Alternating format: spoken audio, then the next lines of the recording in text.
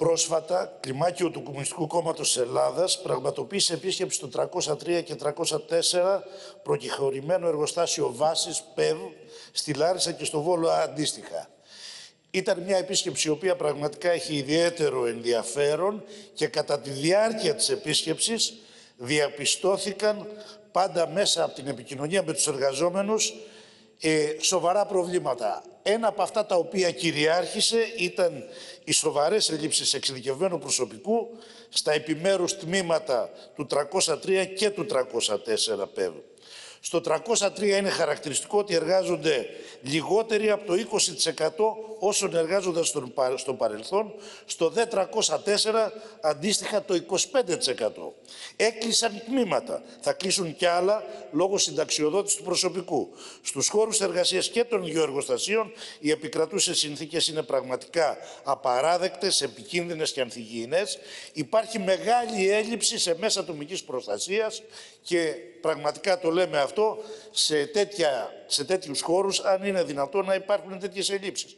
Ελλείψεις σε ΜΑΠ, σε ιδιαίτερους χώρους που από αυτά, αν θέλετε, εξαρτάται και η ζωή και η υγεία των εργαζομένων. Ενδεικτικά στο 303 για το 22, οι σχετικές πιστώσεις ανήλθαν στα 600 ευρώ, όταν απαιτούνταν τουλάχιστον 48.000. Στο 304 αντίστοιχα σε 3.000 ευρώ. Οι εργαζόμενοι σε πολλές περιπτώσεις καλύπτουν τις ανάγκες από την τσέπη τους. Τώρα για τις χρησιμοποιούμενες κτηριακές εγκαταστάσεις είναι δεδομένο ότι είναι ακατάλληλες φαίνονται από την πρώτη μεριά για τον σκοπό χρήση τους αλλά και επικίνδυνες λόγω ελλειπούς συντήρησης. Και στα δύο εργοστάσια υπάρχει μεγάλη διάβρωση στους σκελετούς των κτηρίων τη στιγμή που λειτουργούν μέσα σε αυτούς γερανογέφυρες πολλών τόνων που επιβαρύνουν στατικά τα κτίρια. Στο 304 απαιτείται ε, το αστρονομικό ποσό, την ανοχή σας για λίγο κύριε Πρόεδρε, το αστρονομικό ποσό των 100.000 ευρώ για να γίνει πλήρης στατικός έλεγχος στα κτίρια. Όμως αυτά τα χρήματα δεν διατίθεται. Οι στέγες των κτηρίων και στα δύο εργοστάσια δυστυχώς είναι ακόμα με σήμερα με αμίαντο. Υλικό που πέρα από κάθε επιστημονική αμφισβήτηση ενοχοποιείται άμεσα για καρκινογενέσεις στο μόνο στο 303 είναι 10.000 τετραγωνικά μέτρα μία ντοσοροφή. Αλλήμωνο. Κραυγάζουν οι εργαζόμενοι εδώ και δεκαετίες και καθιστούν υπεύθυνο συνολικά τις κυβερνήσεις Νέα Δημοκρατία, ΣΥΡΙΖΑ, ΠΑΣΟΚ, ΚΙΝΑΛ που τους γυρνάνε την πλάτη στα προβλήματα. Και άλλα τα οποία θα συμπληρώσω στην δευτερολογία μου. Κύριε Υπουργέ, εμείς σας ρωτάμε τι μέτρα θα πάρει η κυβέρνηση; Για την πρόσληψη μόνιμου προσωπικού και την κάλυψη όλων των κενών θέσεων σε όλα τα τμήματα του εργοστασίου. Άμεση αγορά των απαραίτητων μέσων ατομικής προστασίας για τη δωρεάν κάλυψη των αναγκών και την προστασία της υγείας ε, και ασφάλειας των εργαζομένων. Δεύτερον, την άμεση απομάκρυνση του άκρος επικίνδυνου αμύαντου για την υγεία των εργαζομένων από τις στέγες του εργοστασίου. Και τέλος, τι θα κάνετε για τις απαραίτητες επισκευές, αναβαθμίσεις και εξυγχρονισμό των κτηριακών εγκαταστάσεων. Ευχαριστώ. Ευχαριστούμε πολύ κύριε Παπαναστάση. Την κάνατε προς τον Υπουργό Εθνικής Άμυνας. Θα απαντήσει ο Υφυπουργός Εθνικής Άμυνας, ο κύριος Νικόλο Καρδαλιάς. Κύριε Πρόεδρε. Κύριε Καρδαλιά, καλημέρα σας. Α τα πούμε και μια καλημέρα. Κύριε Πρόεδρε, αξιότιμη κύριε Παπαναστάση, ε, επιτρέψτε να πω, δεν χρειάζεται κρίνω ότι δεν χρειάζεται να μακρηγορήσουμε σε αυτή τη συζήτηση και γι' αυτό μου επιτρέψετε να είμαι πολύ σύντομος. Και βέβαια όχι φυσικά γιατί δεν ε, θέλουν να καλυφθούν πλήρως τα ζητήματα των στρατιωτικών εργοστασίων και σε καμία περίπτωση. Άλλωστε, ξέρετε πάρα πολύ καλά ότι η ηγεσία του Υπουργείου Εθνικής Άμυνας έχει προβεί σε συγκεκριμένες πρωτοβουλίες και έχει δώσει πλήρε και αναλυτικές απαντήσεις προφανώς μέσω της διαδικασίας του κοινοβουλευτικού ελέγχου για το συγκεκριμένο θέμα. Σε πολλές μάλιστα περιπτώσεις, με αποδέχεται εσά προσωπικά, το ενδιαφέρον σα είναι έντονο και πρέπει να το αναγνωρίσουμε αυτό, μαζί φυσικά με ιδιαίτερα μέλη της κοινοβουλευτικής ομάδας. Παρ' όλα αυτά, τα ζητήματα των στρατιωτικών εργοστασίων τα έχουμε μελετήσει διεξοδικά ως πολιτική ηγεσία. Τα αντιμετωπίζουμε τη σοβαρότητα που απαιτείται, διότι θεωρούμε ότι το έργο που επιτελείται στα εργοστάσια είναι εξαιρετικής σημασίας. Μάλιστα, όπως γνωρίζετε, πριν ένα μήνα περίπου επισκέφθηκα ο ίδιος στι στρατιωτικές εγκαταστάσεις στα προκεχωρημένα εργοστάσια βάσεως 303 και 304 στο πλαίσιο του προγράμματος τακτικών με επισκέψεων και μάλιστα αμέσως μετά την επίσκεψη της 110 πτέρυγας μάχης με τον κύριο Πρωθυπουργό. Θέλω να σας διαβεβαιώσω ότι όπως όλες μου επισκέψεις, σε όλες τις μονάδες, σε όλους τους σχηματισμούς, σε όλα τα φυλάκια, σε όλη την Ελλάδα, δεν πρόκειται για, για μια εθιμοτυπική επίσκεψη. Ποτέ δεν πηγαίνω απλά για να δω. Πηγαίνω για να ενημερωθώ και πάντα στο πλαίσιο ενός συνολικού σχεδίου που αφορά όλους τους σχηματισμούς μας, όλα τα φυλάκια, όλες τις δομές μας. Και βέβαια πρέπει να παραδεχτώ ήταν μια ιδιαίτερα επικοδομητική επίσκεψη. Έχω πλήρη σαφή εικόνα, ειδή σώμαση για όλα τα ζητήματα που απασχολούν το προσωπικό των προαναφερομένων εργοστασίων και ιδιαίτερως για εκείνα που άπτουν των εργασιακών συνθηκών σε λόγω καταστάσει. Και πράγματι θεωρώ ότι υπάρχουν πάρα πολλά πράγματα για να γίνουν. Την ίδια στιγμή όμως πρέπει να παραδεχτούμε ότι έχουν γίνει αρκετά. Είμαστε ικανοποιημένοι. Ποτέ δεν θα είμαστε ικανοποιημένοι, κύριε Επαναστάση, για οτιδήποτε αφορά τα στελέχη των ενόπλων δυνάμεων. Κάθε μέρα είναι και μια πρόκληση για μας για να βελτιωνόμαστε και να μπορούμε να τους παράσχουμε όσο το δυνατόν περισσότερα. Εκεί είχα την ευκαιρία να επικοινωνήσω με τους, ε, εκ του σύνεγγυ με τη διοίκηση των εργοστασίων και με το πολιτικό και στρατιωτικό προσωπικό που εργάζεται και διαβεί τις εγκαταστάσεις, προκειμένου να καταγράψουμε όλα τα προβλήματα που υπάρχουν και να προτεραιοποιήσουμε τις ανάγκες ώστε να αναζητήσουμε στοχευμένες λύσεις. Εξάλλου, σε όλη μας την πορεία, και αυτό πρέπει να το παραδεχτείτε, δεν συνηθίζουμε να επιδιδόμαστε σε πλειοδοσίες ευαισθησίας. Αντιθέτως, απέναντι σε όλες τις δοκιμασίες, σε όλες τις προκλήσεις, σηκώνουμε τα μανίκια και προχωράμε με συγκεκριμένο σχέδιο και πράξη. Εν συντομία, σχετικά με την απομάκρυνση και αντικατάσταση προϊόντων αμοιάντου από στρατιωτικές εγκαταστάσεις, θέλω να επισημάνω ότι, ότι όταν ανέλαβε η τρέχουσα κυβέρνηση του Υπουργείου Εθνικής Άμυνας το 19, το Υπουργείο ως δικαιούχος των δράσεων πράξεων που συγχρηματοδοτούνται από την Ευρωπαϊκή Ένωση, μόλις είχε υποβάλει ηλεκτρονικά τα απαιτούμενα δικαιολογητικά, προκειμένου η πράξη με αντικείμενο την αποκατάσταση ρηπασμένων χώρων υπεθά να ενταχθούν προς χρηματοδότηση από πόρους του ΕΣΠΑ 14. Παντελώς ανώριμες μελέτες, παντελώς ανώριμες διαδικασίες. Εκείνη την περίοδο το ανώτερο αίτημα χρηματοδότησης δεν είχε καν αξιολογηθεί από τη διαχειριστική αρχή του επιχειρησιακού προγράμματος Υποδομές Μεταφορών Περιβάλλον και Αηφόρου Ανάπτυξης και το Υπουργείο Εθνικής Άμυνας τελούσε σε αναμονή της απόφασης ένταξης των συγκεκριμένων πράξεων στο ΕΣΠΑ 1420. Στη συνέχεια όμως, υπήρξαν πολύ συγκεκριμένες συντονισμένες ενέργειες του ΕΠΕΘΑ και των Γενικών Επιτελείων. Τον Ιανουάριο και Φεβρουάριο του 20 εκδόθηκαν όλες οι απαραίτητες αποφάσεις ένταξης, με τις οποίες εντάχθηκαν οι σχετικές πράξεις, μεταξύ και των οποίων και η απομάκρυνση, διαχείριση και αντικατάσταση προϊόντων αμοιάντου από στρατιωτικές εγκαταστάσεις του στρατού Ξηράς συνολικού προπολογισμού 4.473.300 ευρώ, με συγχρηματοδότηση από το Ταμείο Συνοχής. Η εν λόγω απόφαση περιλαμβάνει τα υποέργα για την πρώτη στρατιά, την ΑΣΔΕΝ και το ΔΕΛΤΑ Σώμα Στρατού, όπως πολύ καλά γνωρίζετε.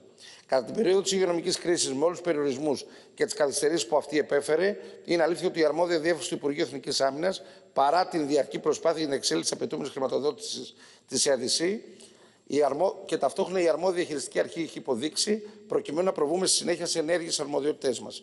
Δεν εργούνταν σε διαρκή βάση επαφές με το αρμόδιο τμήμα της ΑΔΣ για την επίσπευση της έκδοσης της άποψης της υπόψης γνωμοδότηση, με την οποία οριστικοποιήθηκε η μορφή και το περιεχόμενο των αντίστοιχων τευχών δημοπράτησης. Κατόπιν και της αντίστοιχης θετικής γνώμης διαχειριστικής αρχής, ήταν επιτέλους εφικτό να εκκινήσουν οι διαγωνιστικές διαδικασίες.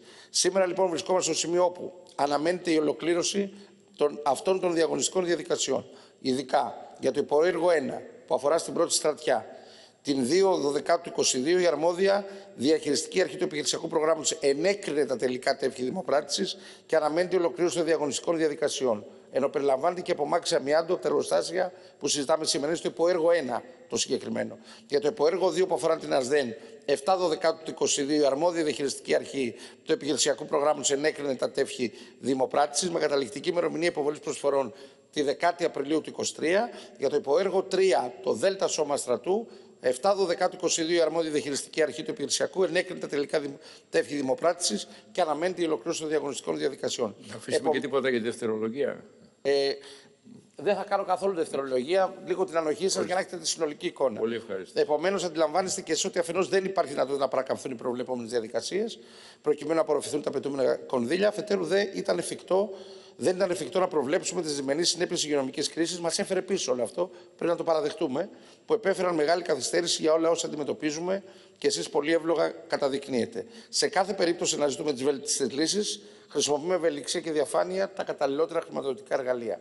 Όσον αφορά την πρόληψη μόνιμου προσωπικού, για το 303 αναμένει η έκδοση πινάκων επιτυχόντων για τις τρεις θέσεις κλάδου δευτεροβάθμια εκπαίδευσης τεχνικού ηλεκτρολογίας. Προκηρύχθηκαν, σας θυμίζω, στην 10K του 22 του ΑΣΕΠ, ενώ έχουν συμπεριληφθεί στο τετραετή προγραμματισμό προσλήψεων 24-27, τρεις θέσεις για το 24, πέντε θέσεις για το 25, πέντε θέσεις για το 26 και πέντε θέσεις για το 27. Επιπλέον, στο πλαίσιο προκήρυξης θέσεων του ΓΕΣ για κάλυψη με μετατάξεις από άλλου φορεί του δημοσίου, στον πρώτο κύκλο κινητικότητας του 22 είχαν συμπεριληφθεί 7 θέσεις, άλλες 5 ανάγονται στο δεύτερο κύκλο κινητικότητας και ομοίως για, τα 300 για το 304 αναμένεται η έκδοση πινάκων προσωρινών αποτελεσμάτων για τρεις θέσεις ΔΕΕ κλάδου τεχνικού μηχανολογίας πρώτη και μία θέση ΔΕΕ κλάδου τεχνικού ηλεκτρονικής που προκυρήθηκαν πάλι με την 10K του 22 του ΑΣΕΠ, ενώ παράλληλα έχει εγκριθεί μια θέση κατηγορίας ΠΕ κλάδου μηχανικών χημικών στον προγραμματισμό προσλήψεων έτους 23 με την υπαριθμό 31 της 29η Ενάτου του 22 πράξης Υπουργικού Συμβουλίου. Και τέλος, έχουν συμπεριληφθεί στο τετραετή προγραμματισμό προσλήψεων του τακτικού προσωπικού για το ΙΕΣ δύο θέσεις για το έτος 24, πέντε θέσεις για το 15, 12 θέσεις για το 26 και 20 θέσεις για το 27. Για τα υπόλοιπα που αφορά στα μέτρα ατομικής προστασίας, θα μου επιτρέψετε να αναφερθώ στην πολύ σύντομη δευτερολογία μου. Ευχαριστούμε πολύ, ορίστε κύριε Παπαναστάση. Ευχαριστώ κύριε Υπουργέ. Πραγματικά θα ήθελα να σταθώ καλοπροαίρετα απέναντι στα στοιχεία τα οποία μας δώσατε. Δεν μπορώ όμως να το κάνω. Και δεν μπορώ να το κάνω κοιτώντας τους ίδιους τους εργαζόμενους στα μάτια, οι οποίοι αυτές τις υποσχέσεις για τον αμύαντο, για το αντικείμενο της εργασίας τους, για τις αμοιβές τους, για την ασφάλειά τους, εδώ και δεκαετίες βάζουν τα ίδια θέματα. Κυβέρνηση Πασόκ, κυβέρνηση ΣΥΡΙΖΑ, κυβερνήσεις Νέας Δημοκρατίας. Έλεω πια όλοι τα ίδια τους λένε. Ε, αναφέρατε κάποιους αριθμού προσλήψεων. Εγώ μόνο θα σας πω ότι στο 303 ήταν 300 εργαζόμενοι, σήμερα είναι 50. Τι θα τους δώσετε; Όχι ασπιρίνη, μοιάζει με τις αυξήσεις μισθών που δίνει η κυβέρνησή σας. Από τη μια μεριά τους βάζετε κάτι της, από την άλλη τους παίρνετε τα διπλάσια. Αυτή είναι η λογική εργασίας. Τώρα, ε, η κυβέρνηση κάθε χρόνο δαπανά δισεκατομμύρια για την κάλυψη των αναγκών του ΝΑΤΟ συμμετοχή τμήματων σε ελληνικές, ε, των ελληνικών ενόπλων δυνάμεων σε ξένες πολεμικές αποστολές, σε ασκήσεις δοκιμής επιχειρησιακών σχεδίων που δεν έχουν σχέση με την άμυνα. Εκατομμύρια για τους εργαζόμενους εκεί πέρα δεν υπάρχουν μέσα ατομικής προστασίας. Αυτά τα πράγματα πραγματικά τα αντιλαμβάνονται και τα προβάλλουν ως αιτήματα. Αλλά και πέρα... Ε, ε, από αυτά. Οι εργαζόμενοι φωνάζουν με κάθε τρόπο ότι δουλεύουν σε εργοστάσια που διαθέτουν πραγματικά τεχνολογία και τεχνικά μέσα υπερσύγχρονα τα οποία κάθονται. Θέλουν δηλαδή ε, αντικείμενο εργασίας. Ούτε επισκευές αρμάτων, ε, ούτε εξυγχρονισμός αρμάτων γίνονται, ούτε αναβαθμίσεις, ούτε καν οι συντηρήσεις που προβλέπονται από τα εγχειρίδια για τα, ε, για τα άρματα αυτά.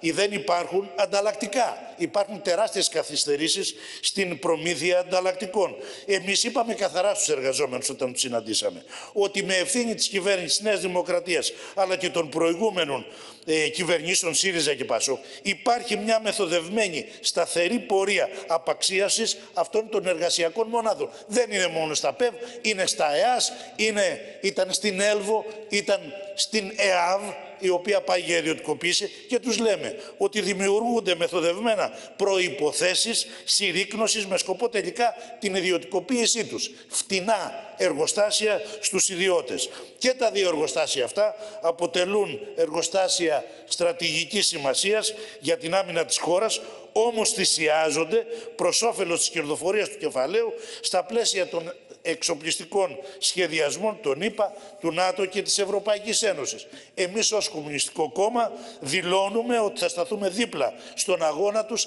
και κατά της ιδιωτικοποίησης, των απολύσεων, της κατάτμισης και της περαιτέρω απαξίωσης των, εργασ... των εργοστασίων.